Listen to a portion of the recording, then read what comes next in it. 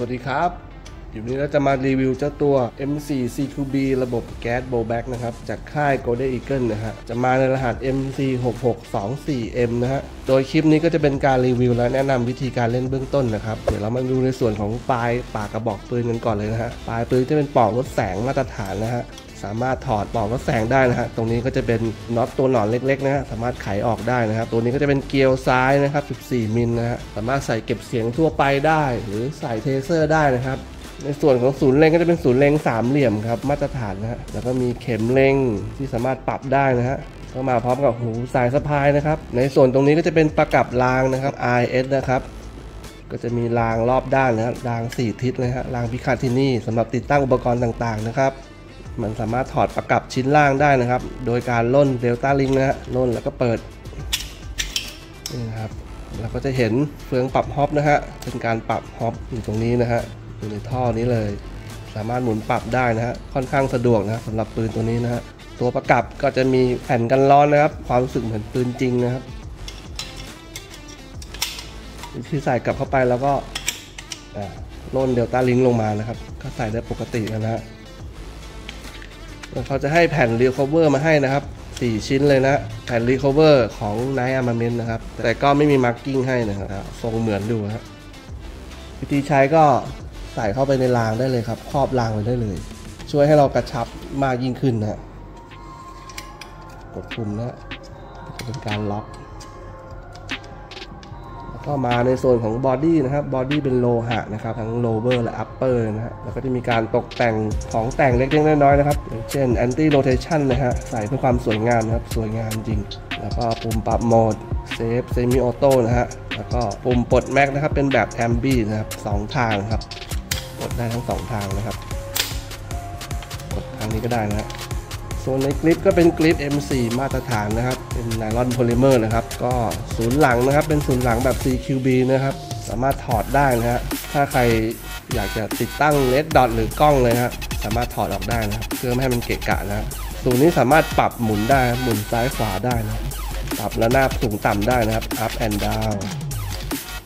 แล้วก็ปรับรูเล็งได้นะครับ เป็นรูเล็กหรือรูใหญ่ได้นะครับ รูบรรจงกับรูยิงคร่าวๆนะครับก็มาในส่วนของพันท้ายนะครับ ก็จะเป็นพันท้ายไนลอนโพลิเมอร์นะครับ เป็นพันท้าย M4 มาตรฐานนะครับ ตรงมาตรฐาน M4 เลยนะครับ สามารถยืดได้หดได้นะครับ หลายระยะนะฮะ ก็จะมีหูร้อยสายสะพายด้วยนะครับ เรามาดูในฝั่งนี้กันบ้างนะครับ ในฝั่งนี้เราก็จะเห็นตัวปรับโหมดข้างนี้นะฮะ เป็นปรับโหมดแบบแอมบี้นะฮะปรับได้ทั้งซ้ายทั้งขวาครับ anti rotation นะฮะปุ่มเทียร์โบนะฮะอันนี้จะเป็นคันลังนะครับสำหรับดึงโบในการขึ้นลำนะครับนี่ครับโบค้าแบบนี้ก็คือเราไม่มีกระสุนนะยังไม่ได้เติมกระสุนนะครับถ้าเราจะอยากจะคืนโบนะฮะเราก็สามารถกดปุ่มโบแคสได้นะฮะกดตรงนี้นะครับจะคืนโบ ในปืนตัวนี้ก็จะให้เป็น T Max มาเลยนะฮะ T Max อัดแก๊สนะครับ เดี๋ยวเรามาลองใช้งานกันดูนะครับว่าจะเติมแก๊สยังไงครับอันนี้ก็จะเป็นวาจ่ายนะครับวาเติม อันนี้ก็จะเป็นปากแม็กนะครับ ปากแม็กเติมกระสุนนะฮะแล้วก็นี่เป็นกลไกในการขังโบนะฮะวิธีการอัดแก๊สนะให้เราคว่ำแม็กลงในลักษณะนี้นะฮะแล้วก็ตั้งกระป๋องแก๊สคว่ำลงอย่างนี้นะฮะแล้วก็เอาปากแก๊สกดลงไปในรูเติมเลยนะครับ กดให้ตรงรูเติมนะครับ ถ้าเกิดเบี้ยวมันจะฟุ้งอย่างนี้นะอย่างเงี้ยถ้าเบี้ยวมันจะฟุ้งนะครับ ถ้ากดตรงมันจะไม่ฟุ้งนะครับ ไม่เปลืองแก๊สด้วย วิธีการกรอกลูกกระสุนนะฮะให้เราใช้ loader นะครับ ใส่หัว cap นี้มาด้วยนะครับ หัว cap ตัวนี้นะฮะให้เราหัว cap loader นะครอบปาก mag ไปอย่างนี้นะครับ แล้วก็จับตั้งอย่างนี้ครับแล้วทำการโหลดลงไป เอามือจับแน่นๆนะครับ เพราะมันค่อนข้างแข็งนะฮะโหลดไปเรื่อยครับ มันโหลดได้ประมาณ 50 นัดนะครับ เมื่อเรากรอกลูกเสร็จแล้วลูกก็จะมารออยู่ที่ปากนะฮะแบบนี้นะครับ จะมาลอง test ระบบการยิงดูนะครับ โหลด magazine แล้วก็ทำการขึ้นลำ test ระบบ semi ก่อนนะครับไปลองยิงโหมด auto เลยครับ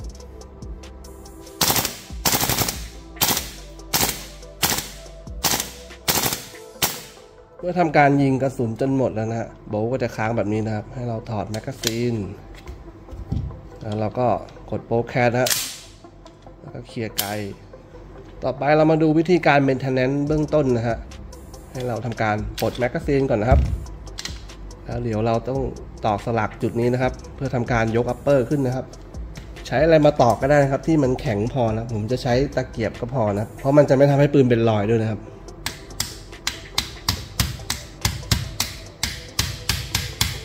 ตอกจนจมแล้วเรามาดูอีกฝั่งนะครับ จะเห็นสลักลอยมาแล้วฮะเราก็จะเอามือดึงมันออกมานะครับเราก็ดึงมันออกมานิดนึงนะครับ ให้มันมีเสียงดังแก๊กอืมพอเสียงแก๊กเสร็จแล้วเราก็สามารถยก upper ขึ้นได้นะครับ ก่อนจะยก upper ขึ้นนะครับ เราเช็คโบว์ก่อนนะฮะให้โบว์อยู่ในตำแหน่งนี้นะถึงจะยกขึ้นได้นะครับ ถ้าโบว์ถอยอยู่จะไม่สามารถยกขึ้นได้ครับมันจะติดนะฮะนี่นะครับนี่ก็จะเป็น hammer นะครับ hammer นี่เป็นเหล็กนะครับแม่เหล็กดูดติดนะฮะจะได้ hammer เป็นเหล็กมาแล้วอัปเกรดมาเลย เมื่อเราเปิดมาแล้วให้เราใช้ซิลิโคนนะครับ ฉีดทำการหล่อลื่นระบบนะฮะนิดหน่อยนะครับ ไม่ต้องชุ่มมากครับเอาแค่พอลื่นแล้วก็ฉีด bolt ด้วยนะครับ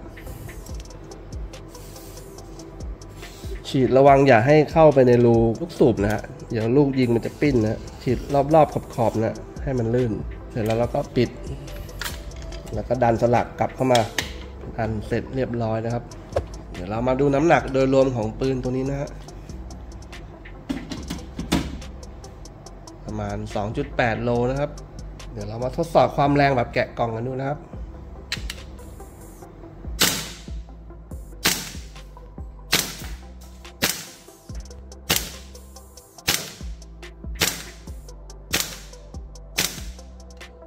แรงก็จะประมาณ 400 นะครับ